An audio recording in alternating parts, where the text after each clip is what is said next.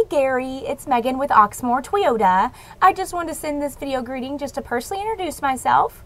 It has come to my attention that you're in the market for a new Toyota Tundra. Please let me know a good time for you to come out and take a look at our inventory.